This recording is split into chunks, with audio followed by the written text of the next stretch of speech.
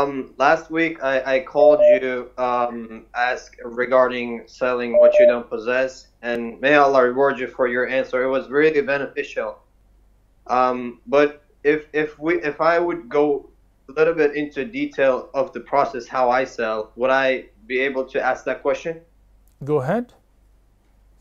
Um, so if I were to let's say follow the three rules of salam, you know, taking the full responsibility of the item and um, posting everything, every single detail of the product I, I will sell online, right? And when the customer comes, buys it from me, uh, I mean, customer pays for the for the item, and then I would go to Alibaba or AliExpress, buy for it cheaper, and ship it from there, taking the full responsibility of it. If it breaks, something happens, I'll return the money and you know take a responsibility. Would this be permissible?